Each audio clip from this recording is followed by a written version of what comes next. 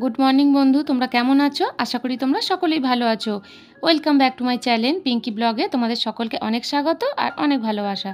দেখো, মোটামুটি সব কাজকর্ম সেরে, চান টান সেরে চা নিয়ে চলে এসেছি মা বেটার আর ছেলে দেখো, ওখানে শুয়ে রয়েছে। আজকে মানে কি বলব তোমাদের? খুব বড় একটা বিপদের হাত থেকে বাঁচলাম, সে নয় তোমাদের পরে বলছি। আর আজকে না আমি একটু তাড়াতাড়ি চলে এসেছি, তার কারণটাও বলছি। চলো আজকে আমার পুরো ব্লগটা দেখতে থাকো আর আমার সঙ্গে থাকো।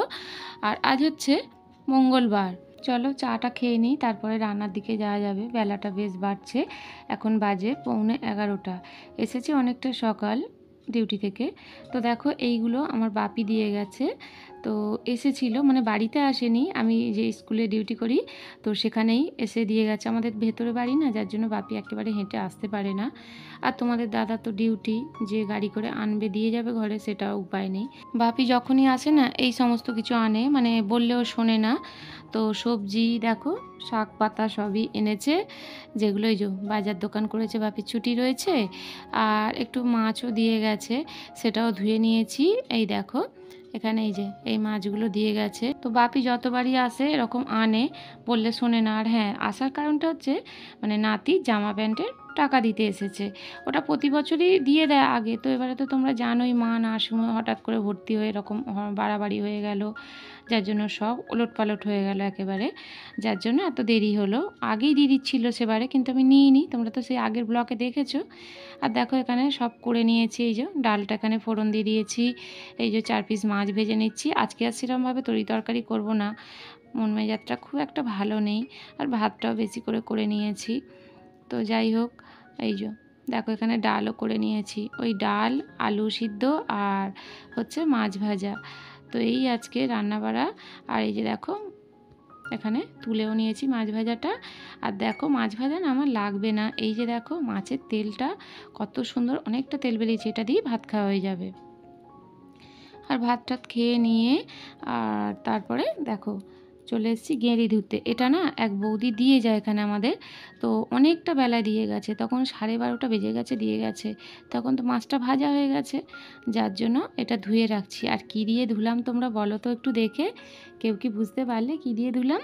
ওটা কিন্তু আমি এক মুঠো আটা নিয়ে নিয়েছিলাম। অনেকে তো তোমরা নুন দিয়ে ধো যারা যারা জানো না, এই আটা দিয়ে একবার তোমরা ট্রাই করে দেখো ধুয়ে। তাহলে কিন্তু তারা দ্বিতীয়বার আর কিন্তু নুন দিয়ে ধোবে না। মানে এটাই ভালো লাগবে। দু মিনিট যাবে না, ধোয়া হয়ে যাবে। সব হরহরে যেগুলো থাকে, পুরো পরিষ্কার হয়ে যায়, দেখো। যার জন্য তোমাদের একবার দেখিয়ে দিলাম। আর এটা তো আজকে আর করব না। ভালো করে ধুয়ে একেবারে পরিষ্কার করে ফ্রিজে রেখে দেব। এটা দেখি তারপরে পরে করব। যদি পারি কালকে করব। তো যাই হোক, চলো এটা ধুয়ে রাখি, তারপরে একটুখানি রেস্ট নেব। এই দেখো, ভালো করে ধুয়ে এই টিফিন কৌটোটার মধ্যে গুছিয়ে একেবারে রেখে দিচ্ছি। তো এটা আমিও জানতাম না, এক বৌদি বলল সব কিছু তো জেনে জেনেই শেখা, তাই না? আমরাও তো আর সবটা জানি না। তো ভাবলাম না, আজকে একবার ট্রাই করি। চলো, এটা তুলে দিই, দিয়ে আর এই ভাতের বাসন একটা মেজে নিই। এই দেখো শুয়েছিলাম, তারপরে সন্ধ্যাবেলায় উঠে একটুখানি চা বসিয়ে দিয়েছি। চাটা বসিয়ে সন্ধে দিয়ে আবার জামাটা চেঞ্জ করে দেখো চা বিস্কুট নিয়ে চলে এসেছি। তো চলো চাটা খেয়ে নিই, আর ছেলেকে তো তোমাদের দাদা পড়তে দিয়ে এসেছে। আজকে ওর সেই অবস্থায় নেই যে মানে পড়তে যাবে মানে আমাদের এই ভেতরের রাস্তায় না ছেলে হচ্ছে সাইকেল নিয়ে ধাক্কা লেগে গেছে। তো এত জোরে ধাক্কা লেগেছে, এটা যদি বড় রাস্তায় হতো জানি না। আজকে মানে কি হতো বা ওকে নিয়ে হয়তো আমাদের ছুটোছুটি করতে হতো। ঠাকুরের অশেষ কৃপা যে বড় কোনো বিপদ হয়নি, বড় বিপদ থেকে রক্ষে পেয়েছি।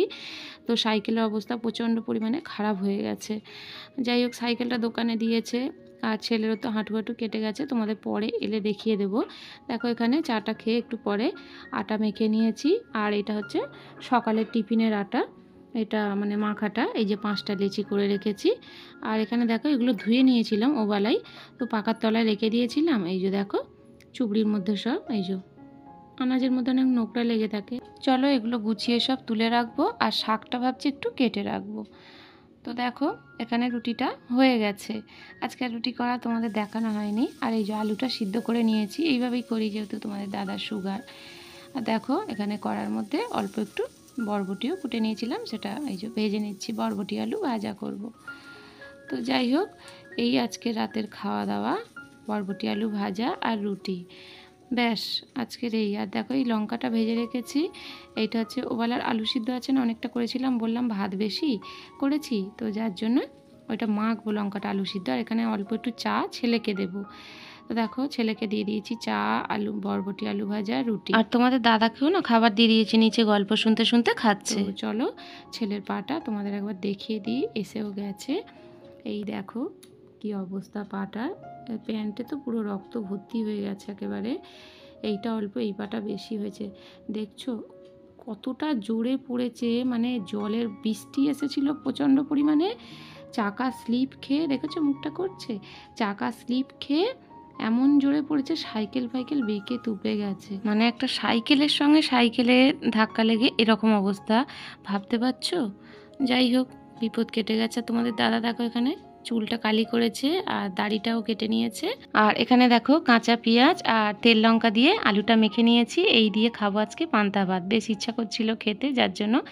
চলো, আজকে এই পর্যন্তই। আজকের ভিডিওটা যদি কোথাও এতটুকু ভালো লাগে, তাহলে অবশ্যই সাবস্ক্রাইব করে দিও। তার সাথে লাইক, কমেন্ট আর শেয়ার করে দিও। আর পাশে থাকা বেল আইকনটা অবশ্যই প্রেস করো, যাতে করে আমার আপলোড করা প্রত্যেকটি ভিডিও নোটিফিকেশান তোমাদের কাছে পৌঁছে যায়। তোমাদের সঙ্গে দেখা হবে একটি নতুন দিনের শুরুতে, একটি নতুন ভিডিওর সঙ্গে। ততক্ষণে তোমরা সকলে ভালো থেকো, সুস্থ থেকো। সাবধানে থেকো টাটা।